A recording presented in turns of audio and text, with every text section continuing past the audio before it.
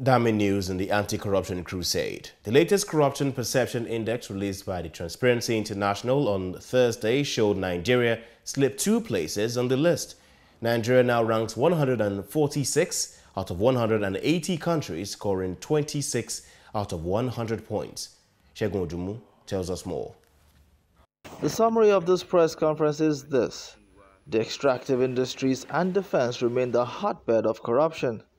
CISLAC and Transparency International concedes that the introduction of the Treasury single account, anti-corruption convictions, and modest breakthroughs in the introduction of beneficial ownership database of true owners in the oil and gas sector have provided optimism that corruption can be tackled at last. But despite all of this, Nigeria is still perceived as corrupt.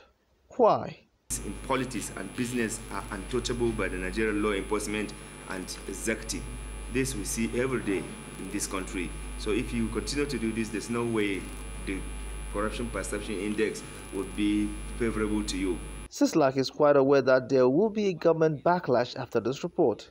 It however insists it is obvious Nigeria is making no progress on this front. It points to high poverty levels, insecurity, and poor infrastructure as evidence. Corruption in defense and security sector is even openly lost by some government officials illegal checkpoints, selective army defense procurement, and corrupt uses of security both fuel insecurity and insurgency. Unlike previous reports, Transparency International says like are providing no recommendations for the government this time around. They are referring the administration back to last year's recommendations. Shegun Odumu, STV News.